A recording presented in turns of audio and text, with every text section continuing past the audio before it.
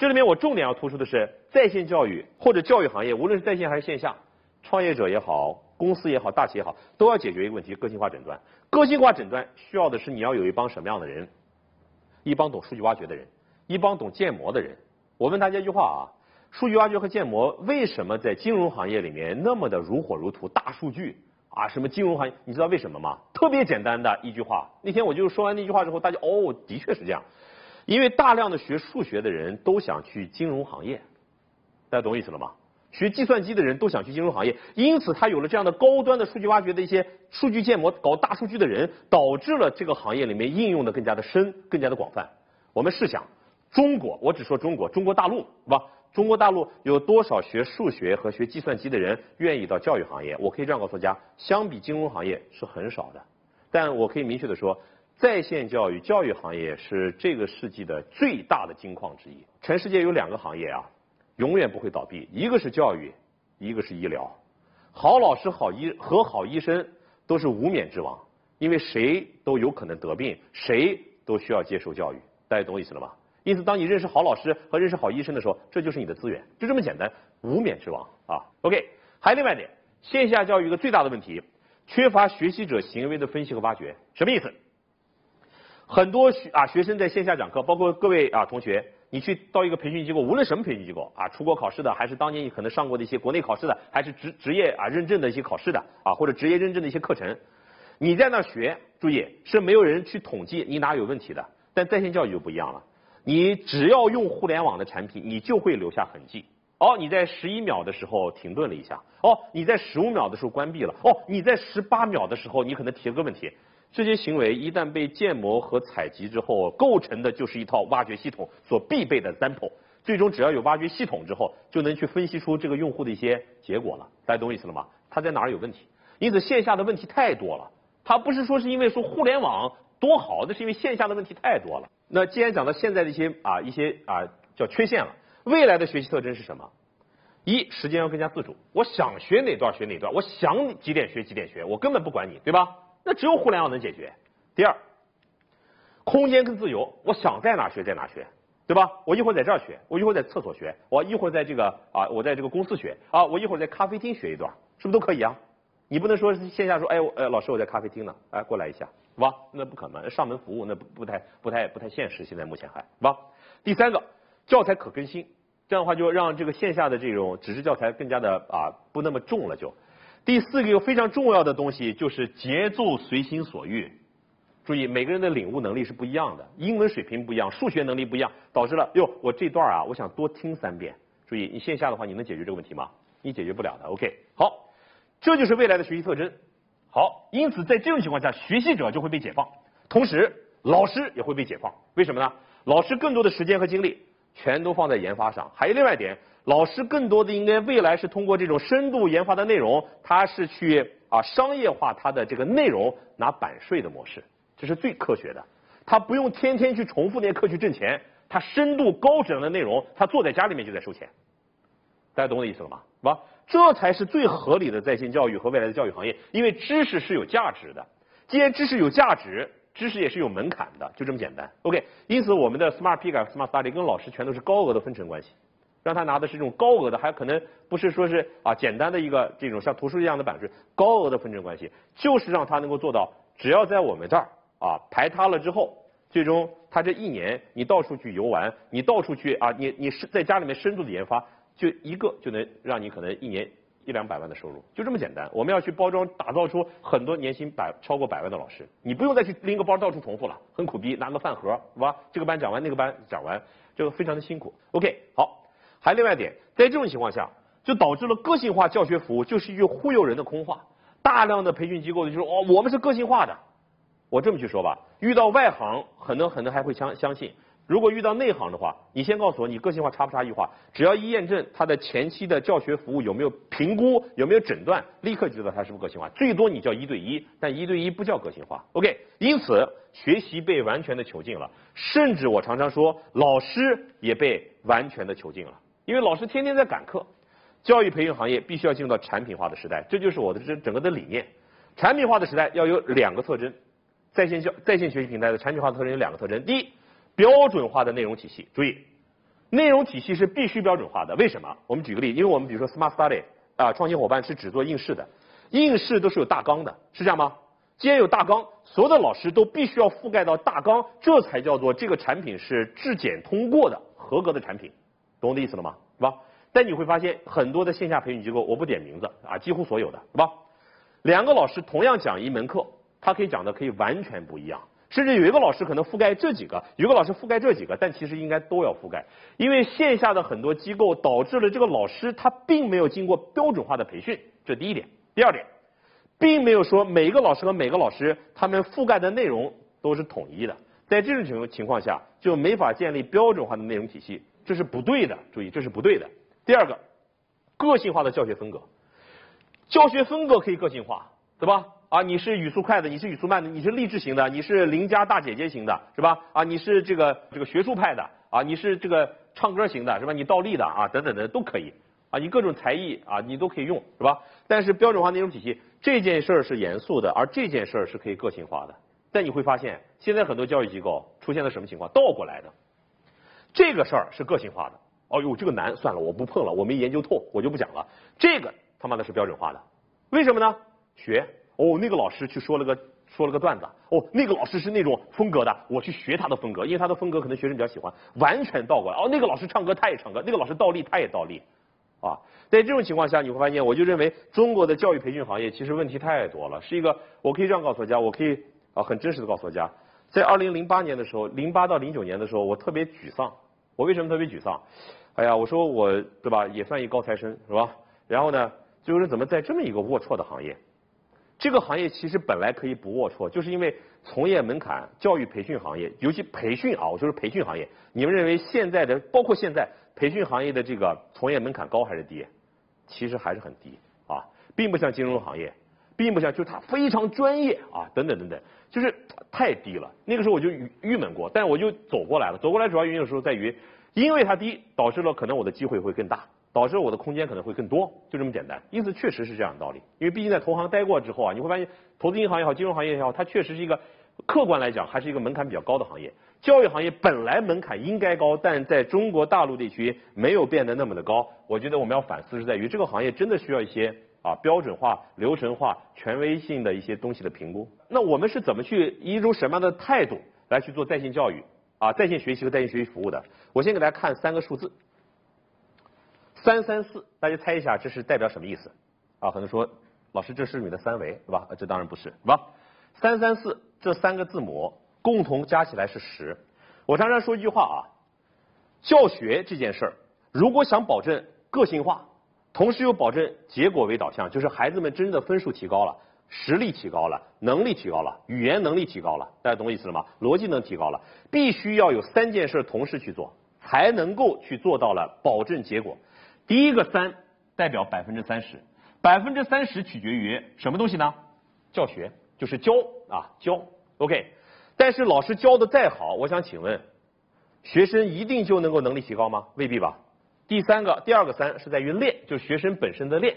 但学生练不是说他自己练，你要给他搭建一套非常科学的练习规律和练习平台以及练习的工具，大家懂我意思了吗？交比健身房给你提供的其实不光是一个听课啊，看这个健身教练演的地方，还给你提供的是一个练习的地方，同意吗？第四个百分之四十最重要的是在于管，就是教学管理。我举个例子，为什么很多人都会选择私人教练？大家知道为什么吗？为什么就自己管不了自己呢？因为人性本惰，是吧？很多时候有个私人教练在这里面的时候，他可能一是给你提醒，这第一点；第二点，他在你练练某一个某每一个动作的时候，他给你给你纠错，大家懂我意思了吗？OK，在这种情况下，有私人教练，并且有私人教练比较专业的这些啊客户，他的健身效率比那些没有私人教练，同时又不坚自我坚持那些人要效率高得多，同意吗？因此很多人说啊，那私人教练很贵，注意，好的东西你必须得买单的。因此我常常说。免费的东西未必好，是吧？好的东西必须得收费，就这么简单的东西，因为这个东西是有成本的，是吧？因此呢，你会发现我非常常我常常说这样一个概念：教育和商业化它之间是完全可以去进行一个很好的兼容的。OK，教育商业化，商业化教育，同时又满足的是高质量，但前提是教育产品的质量必须得很好，是吧？在三三四这样一个模型下，就导致了我常常说，老师教的再好是没用的，必须要去构建一个练习的平台。因此，Smart Study 我们主要做的就是三和第二个、第三个四，学习、教以及四教学管理。教学管理注意，比如说什么提醒啊、敦促，并不需要靠人，靠机器就可以做了。OK，统计可以靠机器去做。而第二个三就是我们的 Smart 批改，就是我们的极致批改网在线练习平台，让学生练完之后，第极致批改网对应的是哪两个三和四呢？是第二个三和四。老师在进行改，这就是教学管理，改你的每一篇作文，纠错你的每一个口语。因此，我常常说，在线教育，甚至不要说在线教育了，只要是教育行业，要想保证学生的教育质量的话，必须得要进入到最原始的，只不过通过最先进的手段，进入到最原始的师徒关系。你们同意吗？是吧？不是说是一个老师哇一千个学生，是一个老师一个学生。最重要的是一个学生一套独立的。啊，个性化的学习方案。好，在这种理念下，就是在研究一个问题：如何让他提供给他合适、适合的学习啊方法、学习资源、学习课程。OK，因为我认为医生和教师这两个行业一模一样，我不知道你们同不同意这个观点。如果医生不是因人而异的话，这很恐怖。他说：“哎呦，上一个我是这样看的，你也是感冒是吧？感冒种类还不一样呢，是吧？因此必须得走向 personalized 个性化的这样一个状况，是吧？因此这里面我就讲到一一个概念之后呢，我就要引出下一句话了。下一句话就是 online 和 offline。很多人都说说在线教育未来会冲击线下，我常常说不会冲击线下，或者不会去革命线下，线下永远会有。就好比即便有淘宝，那不商场也在开着呢吗？尽管受冲击了。”但是你要知道，因为有阿里巴巴、有淘宝的存在，你不得不说的是，整个的线下的购物环境也更加的透明了，也更加的被净化了。因此，我常常用一个单词，就是线上任何的模式对线下其实不是 revolution，而是 evolution，而是进化，而不是一场说啊革把这个命全都革掉，不是这样的。OK，因此我常常说，并不是 online vs offline，而是 online with offline。因此，它是一种典型的什么结构？O to O 的模式了。因此，我认为我是一个典型的 O to O 的一个典型的倡导者。在线教育必须是 O to O 的结构。好，讲完这块之后呢，我下面再讲一下，我做印度巴，我先讲印度巴之前，我先讲一下在线教育我自己创业的一些啊，应该来讲我的 belief 啊，我的一些信仰，然后再去讲，哎，为什么我这么产品这么做？它是有信仰的，是吧？在线学习平台和内容研发的标准是什么？大家看这六个词，我其中把剩下五个我把它盖住了。第一。叫知识点的切片，什么概念？我可以这样告诉大家，我们所有的课程啊，Smart Study 所有的课程都是按照知识点来进行切片的。现在目前大部分的啊同学可能都会适应这种课程，就在于第一节课两小时，第二节课两小时，第三节、第四节、第五节是这样吗？这个非常荒谬，凭什么你那么分？你会发现所有的课程应该进入到像图书一样的概念，就是目录。第一章一共有五小节，第二章很有可能有二十个小节。这样的话就构成了所有的知识，它是怎么样的呢？它是系统的，听懂我的意思了吗？而并不是说按照均分来去分，因为知识点的重要性和长度是不一样的。因此，我们所有的课程都知识点切片。第二个，个性化的诊断，我们所有的平台都融合了数据挖掘的算法，统计学生的学习行为。我举个例子，什么叫学习行为啊？这个数据挖掘怎么去怎么一个诊断啊？包括怎么一个这个啊这个这种互动的？比如说我们所有的 Smart Study 的课程，所有的学生都可以去点提问啊，或者点笔记。那么同时呢，它也会，当然我们每个人上视频网站的话，都会关闭啊或者暂停。所以我想问一下，在有一个课程它暂停了十次，在有个课程它暂停了一次，有没有一些信息可以挖掘？暂停了十次的和暂停了一次的，很有有可能会反映出不同的一些结论。暂停十次的，有可能是这个视频的教学它有疑问更多。听懂我意思了吗？是吧？因此这些都是行为。但这个一个行为不能去判断说啊，他的这个疑问更多。综合所有的 x，可能有十几个 x，我们一共总结了九个 x，九个未知数。然后呢，最终通过建模得到那个 y 的时候，就更加的科学来判断了这个学生在这一门课的学习意向和学习效率。听懂我意思了吗？尤其是个学习的效率，是吧？个性化的诊断。第三个，因为有了个性化诊断，最终就给他推送了他适合学习的课程的内容和知识点，线上促进线下的进化。第三个叫深度的内容研发。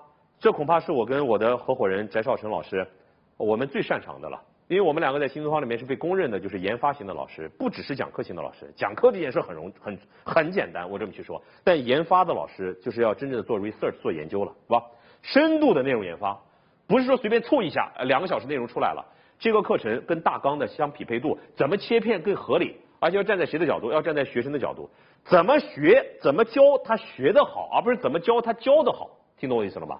站在对方的角度，高清啊，优米网，我觉得自然跟我们的这个做事的品质，我们觉得非常的啊相似的，就在于这是一种视觉享受，这很重要啊。你看一个视频不不清楚，那感觉像枪版的一样啊，那种感觉是很糟糕的，是吧？互动，我们可以支持在线的提问，而且语音的提问，计时和非计时都可以。eBooks，我们所有的教材都是电子化的，而且可以直接在它的 iPad 上直接更新。因为这个概念啊，包括一些。啊，国家的一些部委的一些领导对我们也还是蛮赞赏的，是在于环保啊。纸质教材其实更加的不环保，但我并不是说纸质教材不好，但是我认为教材，尤其是这种考试类的讲义教材，完全应该走向 e-books 啊，就是更新起来更方便。否则的话，你如果更新纸质教材的话，你要统一印刷啊，印错了哎再印一批，浪费钱浪费时间，立刻 update，立刻全都到这儿了。我们整个的生态系统就这么一个概念，用户他可以接受哪些服务呢？教授和外教的写作批改服务，他提交作文，然后呢，我们我马上给你展展示我们是怎么改作文的啊，就是还是蛮严肃的。同时口语批改，这就是批改网解决的问题。好，到下面这个 Smart Study 解决的问题，精品课堂，我们高清录制的这种非常啊，这个应该来讲系统化的课程，以及学习诊断系统啊融融合在里面的，以及同步课堂，这是我们二期的项目，以及实时提问，教师端这边接收到问题之后，可以啊回答他的问题。最终啊，当然了，右侧这块是我们未来的一个小的一个布局，就智能留学和用户匹配，就是关于这个院校录取和智能选校这块的一些小的东西，这也是我过去的一些啊一些成果，我想应用到这个里面。我先讲上半个板块，上半这个板块就是写作批改和口语批改这两个板块，因为这两个板块我前面去说过，它构成的是极致批改网这么一个结构。OK，那么它是一个什么样的结构呢？它是一个什么样的产品模式呢？我相信我今天讲完之后。肯定很多用户你会成为我们的用户，啊，就很多优米网的用户会成为我们的用户，是吧？因为你肯定需要希望提高自己的英文啊，我可以保证，啊，或者在座的很多听众啊，说不定会成为我们的用户。我们也非常衷心的希望啊，王丽芬老师也成为我们的用户，好吧？那么极致批改网它解决的问题就是作文批改和口语批改，这是真正的以个性化为基础的学习服务和学习服务的方案。我先问大家一句话，这句话大家同不同意？口语和写作这两件事儿。只上课是没用的，注意啊，我标了三个词，叫 only，只上课是没用的，你们同意吗？很多人都学了很多年口语写作，只上课这个老师讲的再好，你不练有没有用？没用。即便你练了，但你很有可能你按照错误的方法去练，你提高的效率怎么样？不高。因此，只上课是没用的，但上课是有用的，但只上课是没用，它必须得是你练完之后，有真正专业的人，如果给你手把手的改你的作文和。纠正你的发音和你的语言的逻辑输出的内容的话，我可以这么去说：你练上一周，如果有一个这样的一个一个贴身的这么一个服务的话，比一年都效率更高，因为你知道问题在哪，大家懂我意思了吗？否则的话，你不知道问题在哪。其实这就叫诊断，这跟医生去体检，你说是不是一个道理啊？哦，血糖有点高，这一提哦，你那个元音发的不太对，一模一样的道理。OK，好，因此呢，极致批改网所做的解决的问题就是四大问题：一。中国学生的英语和作文，作文和口语，那基本上很多同学那个口语，那那不知道是不是不知道是是从嘴巴出来的还是从哪？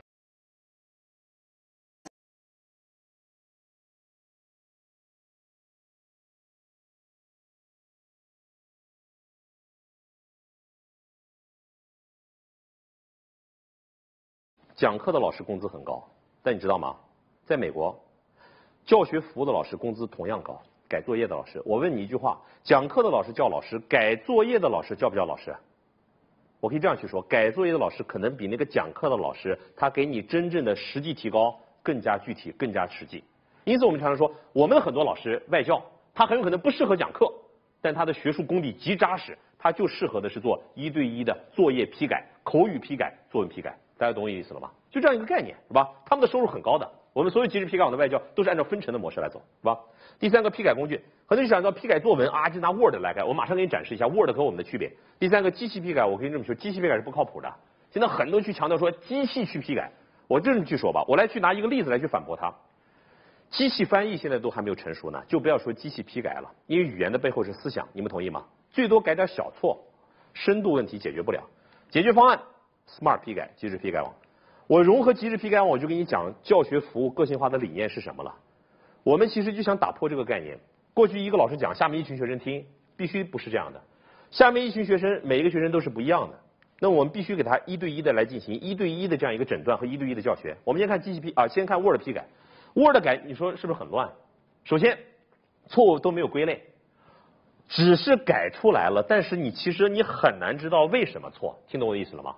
我们的批改报告，所有的作文在极致批改网里面要融合这九个部分，是吧？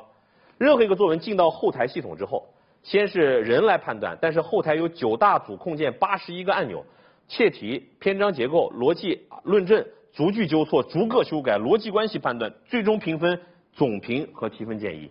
这是我们极致批改网的学生拿到的每一份作文体检报告，我们把它叫作文体检报告。很多学生展开展展开了这样的一种感叹，说改完一篇之后才知道真正自己的问题，不改永远不知道你的问题。比如说它的右侧。就在于，首先老师给外教，我们的外教很多的甚至都是一些考试的一些啊考试机构的考官，是吧？给你的评分啊，比如说托福写作，然后呢右侧这就是所有的错误的分类。你像 Word 它是没法分类的，是吧？分类逻辑错误犯了两次，一点上去就可以看到哪两个地方犯了逻辑错误，标点使用不当、冠词错误、单复数问题啊，表述正确也给你激励一下啊，就你拿好，是吧？鼠标一滑到某一个具体的点上，去告诉你这儿具体应该改为什么，修改建议。纯原汁原味的地道的英文，让所有的学生浸泡在英文里面。你要知道，很多中国老师改学生中啊改中国学生的英文作文，竟然拿中文去改，这不很荒谬吗？这个说啊这个地方写的挺好，这是个屁话，这是对吧？好，请拿英文给我表达，因为让他视觉里面看到的是英文，会促进他输出的更地道的英文。大家懂我的意思了吗？输入输入的关系，是吧？每一个都这么改完之后，后边是按照评分标准的分项的点评。以及最终的总评，这就是极致批改网学生拿到的作文的批改报告，是用良心来去做的。我可以这样去说，改一篇作文，大家体会一下啊，改一篇作文是不是比讲一篇作文其实要累啊？因为他每个人都不一样，讲是我可以讲，我准备一个，我讲给所有人，改一个作文每个人都不一样，因此我们的工作量是非常之大的。但我们一套非常严密的六个环节服务的流水线，是吧？好，这是一些元素。This is FC report，这就是极致批改网，我们做在线学习一个非常啊看似细分，但其实又非常不细分的这样一个产品。这才是真正以结果为导向的个性化的写作教学。我讲了九年写作，我一个反思就是在于，写作只上课真的没用，上完课改作业、改作文，学生才能提高。因为教育机构必须要以提高学生的分数能力为主，而不是说是你收钱为主，是吧？我们的口语批改是我们啊非常。特色，并且拿到了专利的这样一个技术，voice grading 技术，叫语音技术，语音批改技术。我给大家展示一下，今天你可以尝试。语音批改技术什么概念呢？你在即时批改网里面啊，可以用，我们也有移动端，马上展示一下。移动端啊，你可以去啊录啊，你也可以在 Web 上 PC 端，你可以直接录。你的音频录完之后，到外教这端了，我们一旦分配给外教在后台，分配外教之后呢，他用我们的后台的智能的批改控件。在你的语音有问题的地方，就插入了它的标记点以及它的语音，大家懂我的意思了吗？就你哪有问题，最终呢，你就可以在你的手机和 PC 端里面去收到了。这是口语批改报告。右侧依然还是错误的分类啊，delivery 方面的 language use 啊，包括 TD 方面的问题，lexu 方面的问题，是吧？那么上面呢是你原始的音频，而上面你会发现，你原始的音频被改完之后，标记了很多的点，就代表你这个地方有问题，这个地方可能是啊。话题相关度不高，这个地方可能是发音有问题，这个地方可能逻辑有问题，改的是很深度的。下面你一点这个一之后，就可以看到了老外原汁原不是看到，听到老外原汁原味的英文。口语学习跟听力学习不分家，你们同意吗？当他听老外说的时候，他的口语一是他听老外说他的口语问题，但同时他又练的是听力。但我们害怕很多学生听力不好，听不懂，对吧？这个地方一打开就可以看到文本的信息，文本就告诉你哪哪些有错。这就是用户体验，要考虑到不是每个用户都是高端的，是吧？那么这就是当然下面就是一些总评啊，包括分项评分。我们做这件事情为什么这么严肃啊？因为只有这样，我们一个学生在一个培训机构上完托福课之后，花了将近三万多块钱，托福考了三回没有上八十五分，一直都是在那个口语和写作上，口语写作都十几分，十三四分，最终在我们这个平台上也就花了几千块钱，三四千块钱。就是老外一个一个的给他这么去改他的这段音频、这段音频、这段音频，因为音频都是题，以及一篇一篇的作文，最终他的托福在经过了大概两个多月的这样一对一的真正的口语和作文的批改的服务之后，他的托福达到了一百零九分。很简单，因为这个是真正能够提高他的，就像那个健身房的私人教练是一样的道理，他逼着你，你先练，然后我给你纠错你的动作，大家懂我意思了吗？听课有什么用呢？但或者只听课有什么用呢？是吧？好，讲完这块之后，我可以给大家去展示一下，展示一下我们实际的一个啊老师是怎么去给学生去改他的这个口语的这样一段视频，你可以听到，简单的听到这样一个声音。I can't say there is a couple of reasons. You gotta say there are a couple of reasons for this.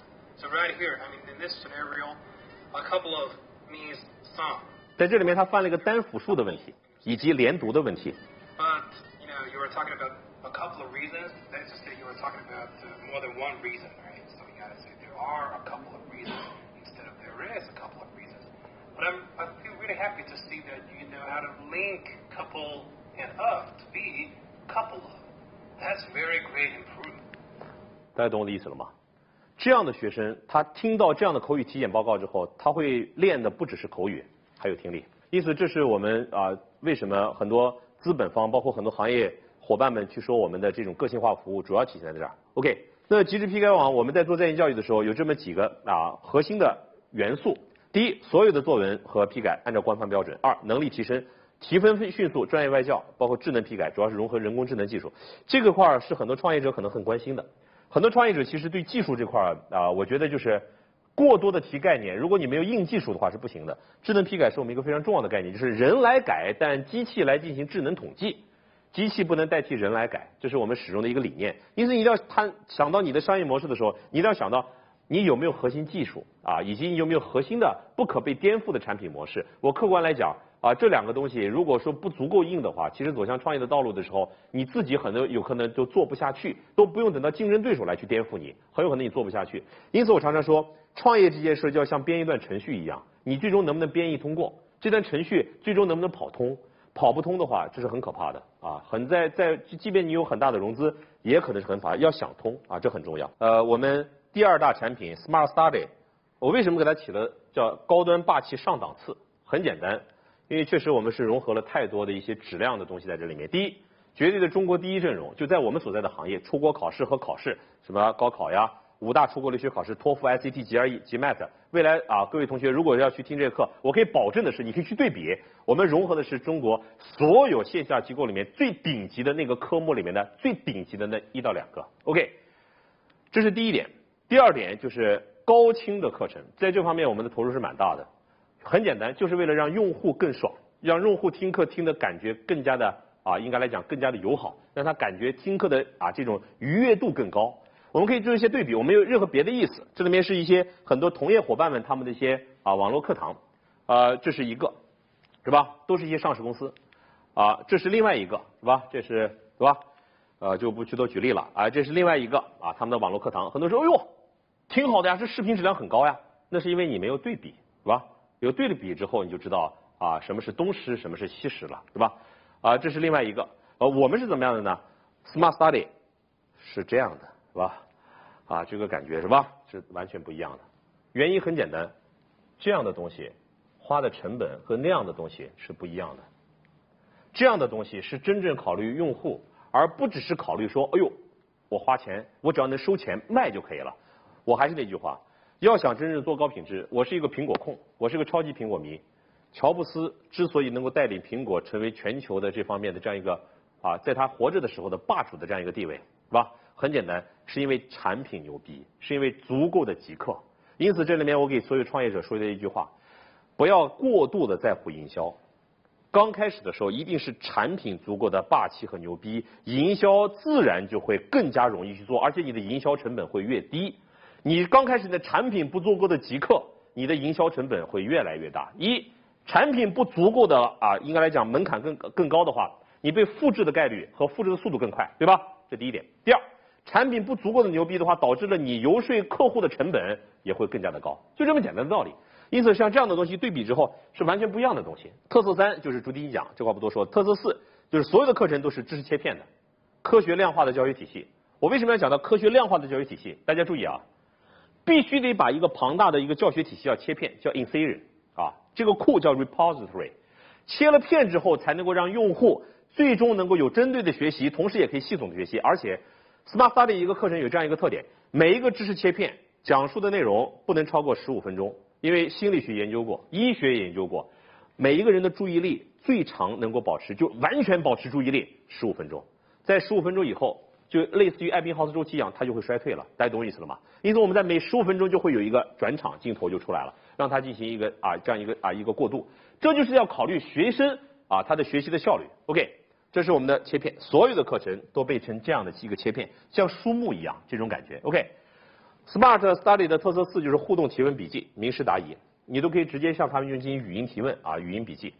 特色五是我的专业的算法用到这里面的，就智能学习管理。这是一张课表对吧？大家从小都看过课表，这个课表可能跟日历是不是差不多？那课表就是日历嘛。注意，我们的日历是 dynamic 并且 smart 动态的，并且智能的，什么意思？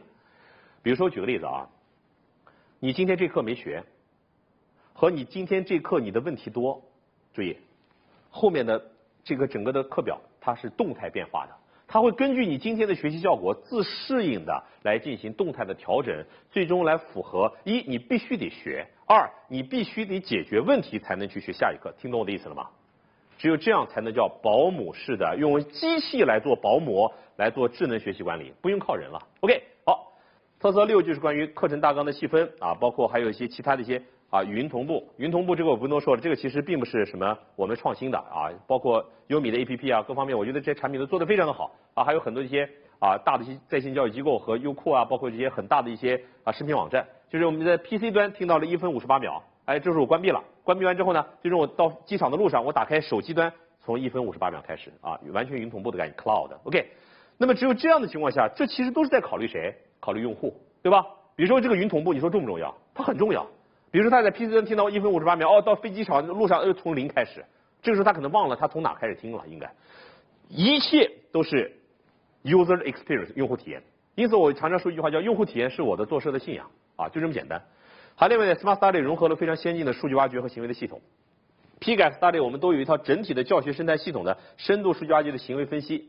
这块因为相对比较复杂，我一我也不展示太多。这就是我们来去啊，通过用户的一些 X 啊，批改有七个 X，就是七个用户的行为，七种用户的行为啊，比如说啊，一周之内登录的次数啊，呃，一个课里面提问的次数呀，播放连续时长呀，等等等等，是吧？Study 一共有九个 X，是吧？最终通过数学的模型的建立，来判断了每一个用户他的学习意向，哦，那个这个是非常科学的。而这个学习意向，最终又跟刚才我先展示的那个智能的学习管理系统和啊课表是完全相关的。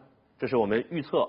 包括甚至我们还有一套模型，但还没有成熟，是预测学生学习完我们的产品之后，通过我们的测试，包括批改服务之后，可以预测他未来的考试分数的概率。注意，我还是强调的概率，就是他考七分的概率是多少。但是你考七分的概率，同时我后面还有一些备考建议啊，这其实就是一些融合了一些啊因因素在这里面了。下面呢，我就可以给大家去讲一下 Smart Study。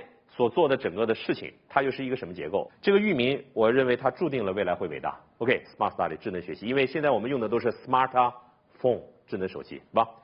做 Smart Study 的理念跟批改的理念几乎几乎一模一样，但是又有不同的分类，主要是在研究这个的问题。现在的学习限制多，哪些限制？一，固定的地点，承认吧？什么叫固定地点？那个培训机构那个班上在，比如说开在海淀区，你必须得去那听课。对吧？他如果不开在朝阳区的话，你就听不了那个课，就这么简单。固定的地点。二，固定的时间，他九点开班，你九点半进去，他绝对不会等你的，是这样吗？OK。第三，固定的节奏，老师讲多快，你得听多快，是这样吧？你也不可能再说，哎，老师再讲一遍啊，不可能。第四，模糊的师资，这是现在目前线下教育培训机构最大的问题。为什么？因为并不是任何一个机构里面的所有的老师都很权威。我可以直接告诉他，就就好比一个医院，也并不是每个医生都是大牌，是一样的道理。资源是有限的，什么资源？优质师资资源是有限的，就导致了并不是每一个机构都那么敢自信的说啊，我们这个班这四个老师，那个班那四个老师，这样会导致有些班可能报不起来，有些班能报得起来。这就线下教育现在害怕线下教育的最大的问题。线上一切都是透明的，这个课谁讲的？比如说哦，这场 Matching and Mapping 韦小亮讲的啊，有人一看哦，韦小亮讲的不错，他就过来，别人讲啊，他讲的不行，我就不听了。它全是透明的，因此互联网的一个本质，我认为就是去中介化、清晰化、去模糊化。下一个纸质教材非常的不环保，而且你报那么一堆书去学习的话，其实蛮辛苦的。这里面如果有同学考过托福、考过啊 GMAT 的话，你会发现你背的书基本上可能比一些女生还重啊。因此呢，你会发现在这种情况下你就更不方便了，移动就根本移动不起来，很有可能你都移动不起来了，对吧？OK，在这种限制下，我们就又提出了一个非常重要的一个现在线下学习的一个最重要的一个问题：线下学习已经非常的 heavy 了，就是非常的重，学习者的负担也很重，奔上几个小时去听课。啊，再回来啊，等等的，老师负担也很重。为什么？很简单，优质的老师由于他的品牌很高，更多的课排给他，他几乎都是靠串场子来去讲课。大家懂我意思吗？赶课啊，报这个班讲完，下一个班去讲。注意，这些优质的老师，他其实并没有把他真正的优质的研发力量用上，他更多的精力都花在了那个重复上。你们同意吗？而没有把精力花在 research 研究上。而在线课堂就不一样了，比如说我这套课录完了之后。你可以反复的听的同时，我也讲了一遍之后，我可以不再去讲了，你就可以去听，哎，以后哦，你去优米网的这个地方去听这堂课就可以了。我更多的精力可以去研发下一套我认为可能对用户有帮助的课程，能理解我的意思吗？因此，研究是教育的属性，而不是说讲课是教育的属性。